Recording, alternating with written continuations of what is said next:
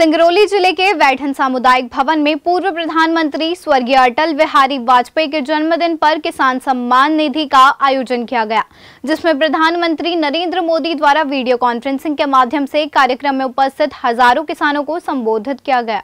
अपने संबोधन में प्रधानमंत्री ने कहा कि विपक्षी पार्टियाँ भ्रम फैला रही है।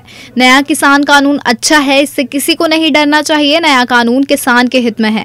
कार्यक्रम के मुख्य अतिथि सिंगरौली विधायक राम लल्लू वैस ने कहा कि किसानों के खाते में प्रधानमंत्री ने एक क्लिक के माध्यम से पैसा ट्रांसफ़र किया।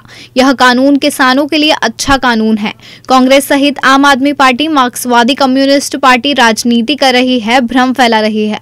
प्रधानमंत्री की वीडियो कॉन्फ्रेंसिंग के द्वारा संबोधन संबोधन के बाद लाडली लक्ष्मी योजना के हितग्राहियों को चेक वितरित किया गया और किसानों को ऋण पुस्तिका भी वितरित की गई।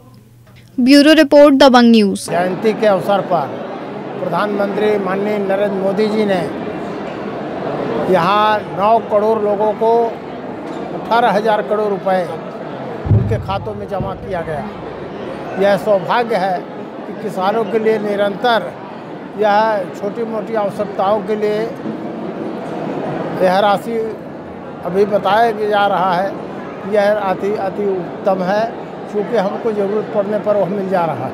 किसी के खाते में जा रहा है किसी के दलालों के चक्कर में नहीं कृषि कानून को लेकर उन्होंने कहा कि भ्रम में न रहें। कृषि कानून को लेकर उन्होंने स्पष्ट कर दिया कि जो तीनों कानून बने हैं उसमें कहीं नहीं है चाहे वो मंडी में बेच सकते हों और चाहे करारनामा करते हों उसमें भी करेंगे तो आपको बेनिफिट है।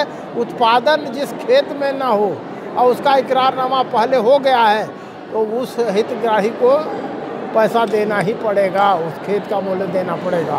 कांग्रेस इससे बेहतर क्या हो सकता है देश में? कांग्रेस पार्टी भ्रम फैला रही है। कांग्रेस पार्टी हो चाहे आम आदमी पार्टी हो चाहे कम्युनिस्ट पार्टी हो चाहे तृणमूल कांग्रेस हो ये सब देश में कुर्सी हमारी बनी रहे इसके लिए प्रचार कर रहे हैं। किसानों के हित में उनका कुछ लेना देना नहीं।